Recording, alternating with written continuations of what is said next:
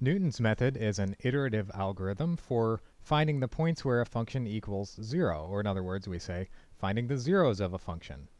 And Newton's method, when applied to optimization, gives a procedure for finding the minima or maxima of a function.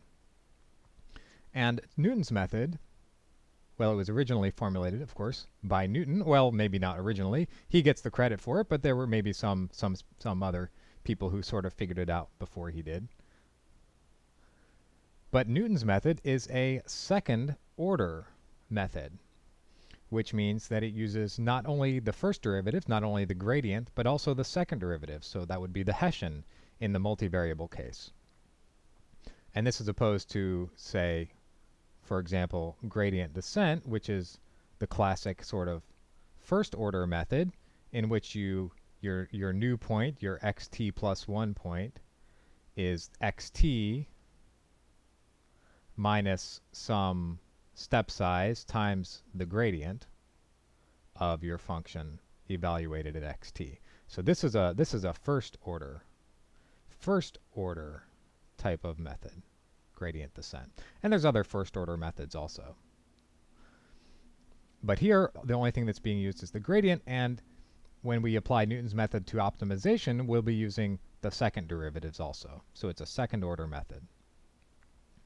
So in this video, we're going to see the intuition behind this application of Newton's method, Newton's method applied to optimization, and we'll derive the multivariable form of this application of Newton's method.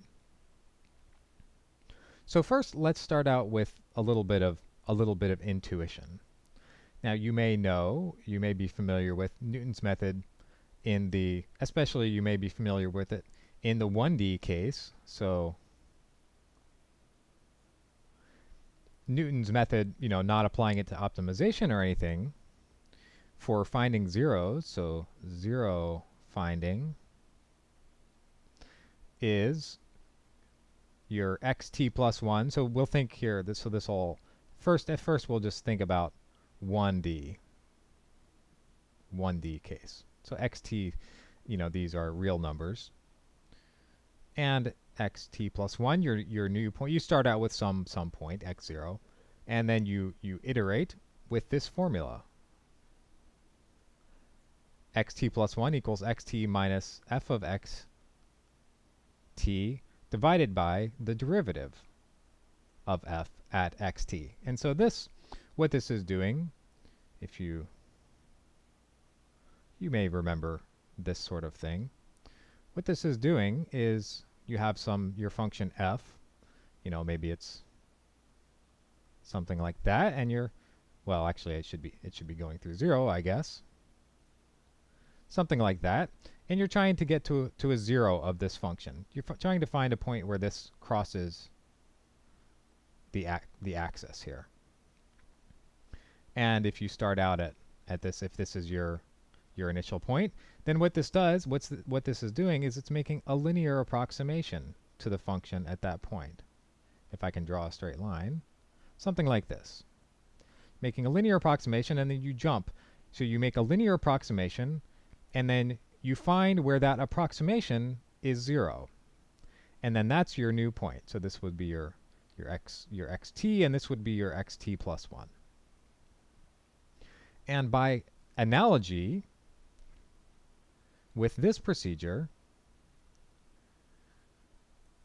for finding minima or maxima, so minimizing or maximizing, maybe I should put min or max.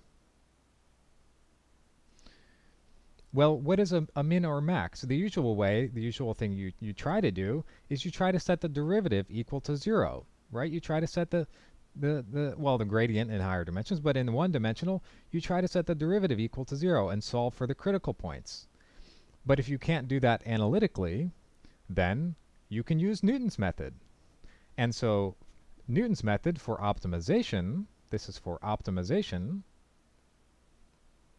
so that was zero finding, and for optimization, you're trying to find where the derivative is zero. Here we were trying to find where the function itself was zero, And now we're trying to find where the derivative is 0. So it's just exactly the same, but instead of using f, you use the derivative.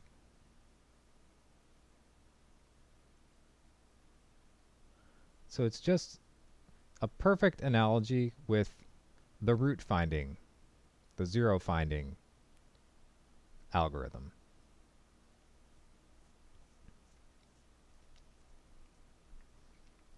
And the picture for this one, for, for the optimization case, is the following. So let's draw, let's draw a bigger picture now, so we can sort of see what's going on here. So the picture now, for this case, is that we've got some function, and maybe it's coming along, let's make it a color. Maybe it's coming along here, and then it straightens out for a while, and maybe it goes up, something like that.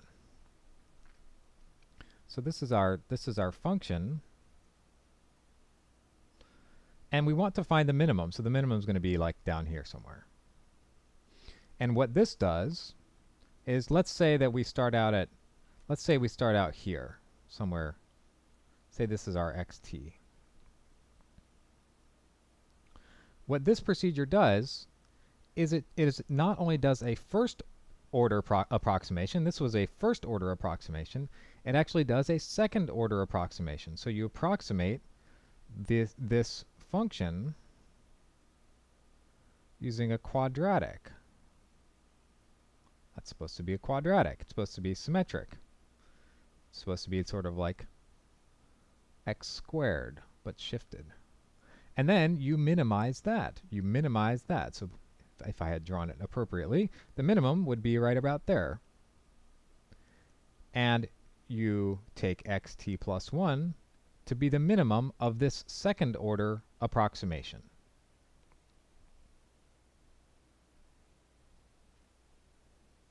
So that's the analogy. So this is the this is the the the, the analogy with the zero finding. It's actually sort of a direct analogy. The analogy with the zero finding, the original sort of application, of Newton's method, extending it to the optimization case. And this is the picture to sort of keep in mind. Now, one thing you may notice here is that, well, if it's the same procedure for minimizing and maximizing, how do we know we're not going to a maximum?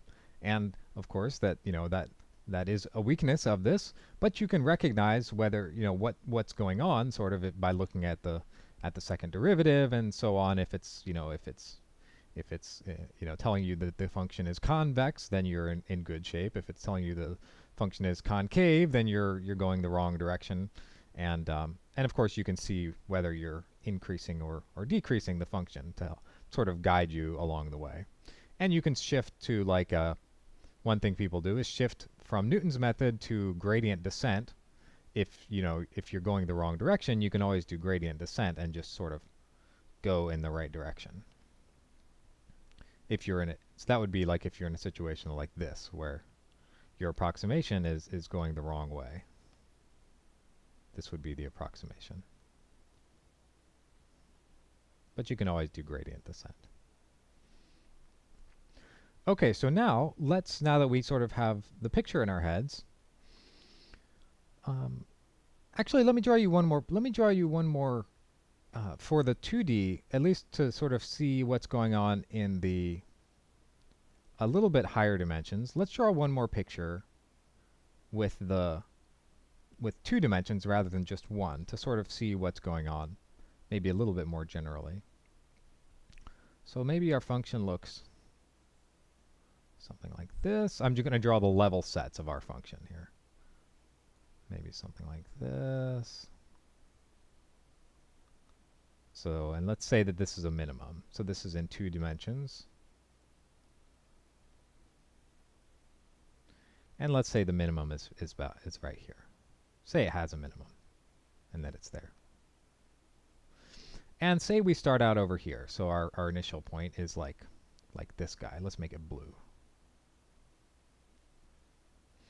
Well, what we do, or maybe, yeah, that's good what Newton's method tells us to do is make a second order approximation. And a second order approximation here is going to be you know, it's going to be a quadratic looking thing. It's not necessarily going to be sph spherical like I've sort of drawn it, but but maybe, maybe something like that. And then you minimize that guy. So then you, you jump to the minimum of that. And that's opposed to the gradient descent, which would just be sort of going in the direction, you know, it would be going in the right direction, but but you might not get there as quickly. So that's one one major advantage of Newton's method is that uh, or second order methods in general over first order methods is that they can be much faster. Second order can be much faster than first order.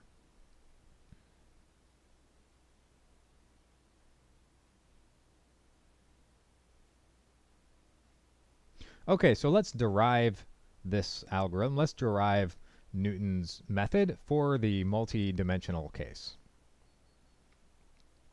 Actually, let me, I'm going to run out of time probably in this video. So let, let me go ahead and stop there since that's a nice sort of stopping place.